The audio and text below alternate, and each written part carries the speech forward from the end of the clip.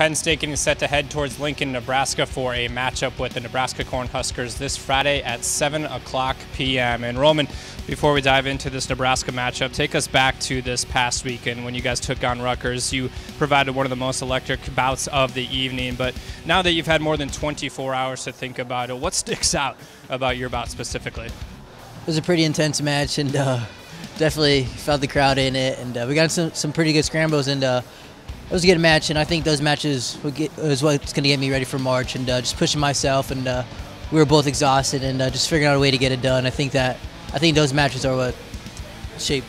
What was the difference maker? Obviously, we saw that hop at the end of the move that you were able to make, and your teammates loved that one as well. But what was the difference maker for you down the stretch there? Um, I knew if I if I knew if I get a shot, it was just we were just getting up in a cra- crazy scramble. It was kind of hard to finish clean because he's pretty long and uh, and he likes a dive roll. So I just decided let's just jump up and try to see if I can move my body around and it happened. So. How about for you? Your progression throughout the season so far, obviously, still pretty early, but now getting into the meat of that Big Ten season. How have you felt your progression throughout the season transpire?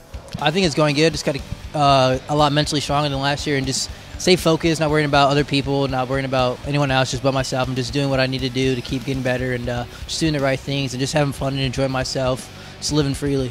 Is there something you did from the mental side of your game over the off season that you've now been able to kind of implement into what you're doing day to day?